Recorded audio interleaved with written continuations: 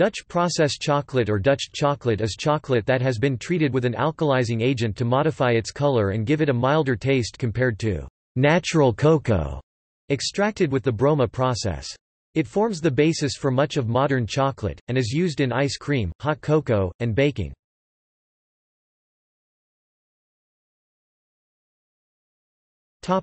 History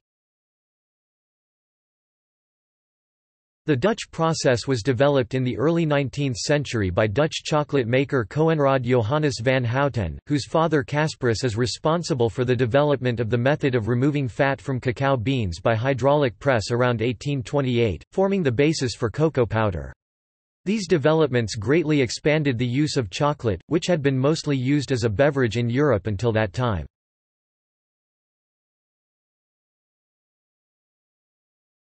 Topic: Taste and cooking properties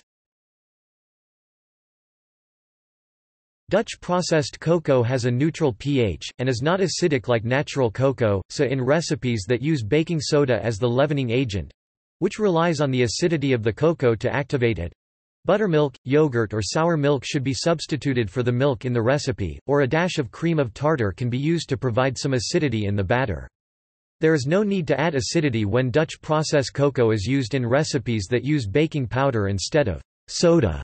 UK bicarb.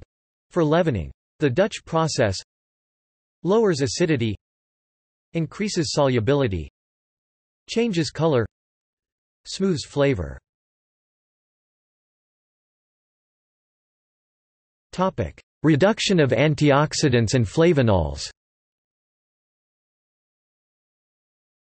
Compared to other processes, Dutch process chocolate contains lower amounts of flavonols antioxidants. The effect this has on nutritional value is disputed. Professor Dr. Irmgard Bitsch of the Institute für Ernährungswissenschaft, Justus Liebig University Gießen claims that the reduction of antioxidants due to the process is not significant and enough polyphenols and procyanids remain in the cocoa.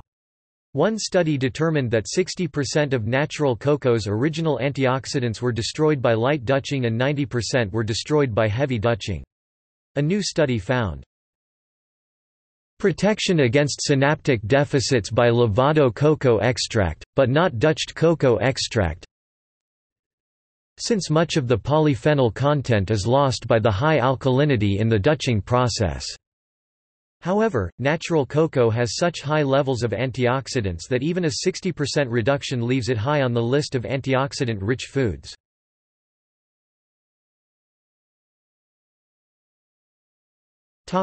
See also. Broma process